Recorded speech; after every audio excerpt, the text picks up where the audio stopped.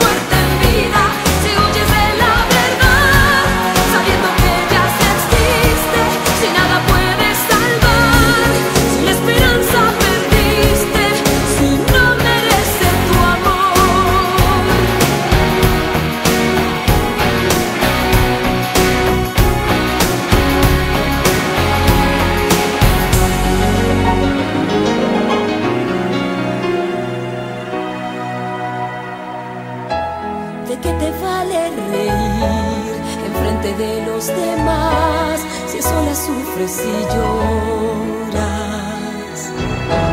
¿De qué te vale crear la farsa de un gran hogar si tú presientes que él tiene otro